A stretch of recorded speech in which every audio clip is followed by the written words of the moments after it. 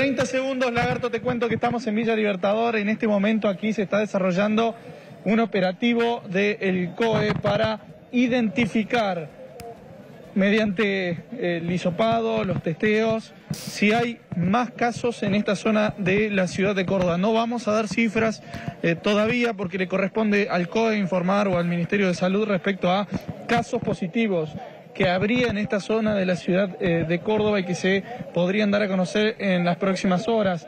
Por tal motivo aquí se está montando este programa eh, de testeo que bueno, busca dar con esta ruta de contagios en esta zona sur de la ciudad de Córdoba, una zona en la que eh, bueno, las medidas de prevención por parte de los vecinos no se han respetado tal como lo establecen las autoridades sanitarias. El último fin de semana hubo muchísima gente en la plaza central, algunos sin los cuidados correspondientes.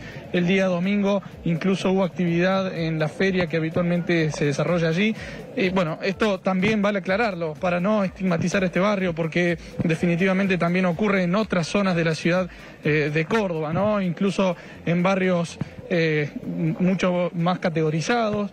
Eh, pero eh, en definitiva los cuidados no, no se vienen llevando a cabo y por tal motivo aquí ocurren, eh, bueno, circunstancias que por supuesto van a ser analizadas e investigadas por las autoridades sanitarias, Bueno, perfecto, muchas gracias. Sandy, muy amable. A las 17 y 30 va a hablar el gobernador junto al COE, así que ahí tendremos toda la información de primera mano.